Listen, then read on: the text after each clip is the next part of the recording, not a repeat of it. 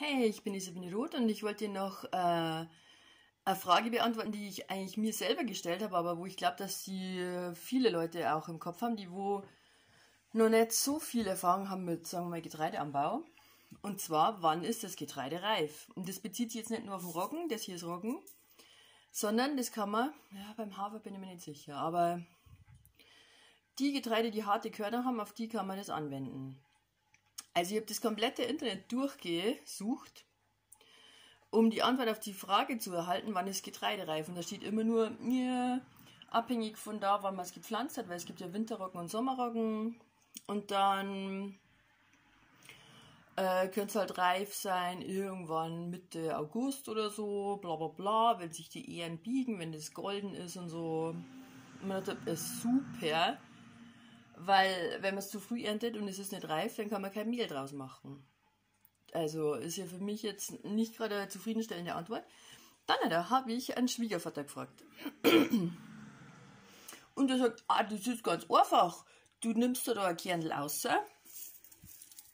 Also man kann die, also man könnte einfach komplette Ähre nehmen oder einfach ein einzelnes, oh, ist schon rausgefallen, ein einzelnes Korn nehmen und dann da reinbeißen. Moment. so klein. Und habt ihr das Knacken gehört? Und wenn das Korn so hart und knackig ist, dann ist es reif. Und der Schwiegervater hat gesagt, wenn es zag ist, also zäh oder ledrig oder vielleicht sogar noch weich, dann ist es nicht reif.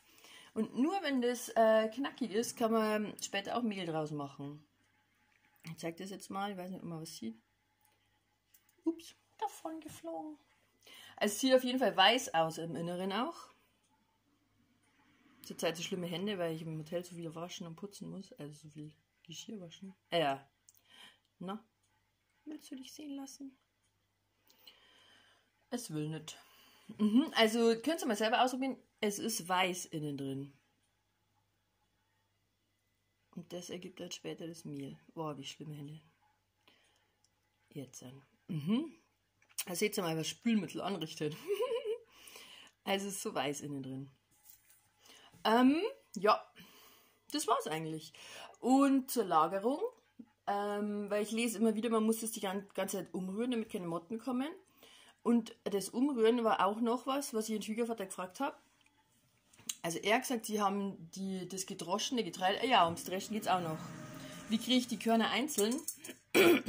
ohne die Schale, ohne die Spelze, also dreschen. Heißt, wie soll ich bei mir daheim dreschen irgendwie? Ähm, dann sagt er einfach rieben, also reiben. Die funktioniert super. Einfach reiben. Funktioniert optimal. Also zu Hause bei einer kleinen Menge kann man einfach reiben. Dann fällt es einfach raus. Und dann kann man die Hülsen, die leeren Hülsen aussortieren. Also so viel zum Dreschen.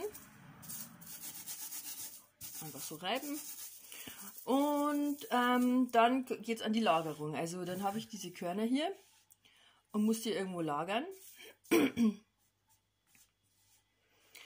äh, und der Schwiegervater hat äh, gesagt, er hat am Dachboden einen Raum, der ist mit Ziegelsteinen, gebrannten Ziegelsteinen ausgelegt. Und da hat man die Säcke mit Getreide hingeschüttet und dann mit so einer Art Paddel barfuß jeden Tag umgerührt.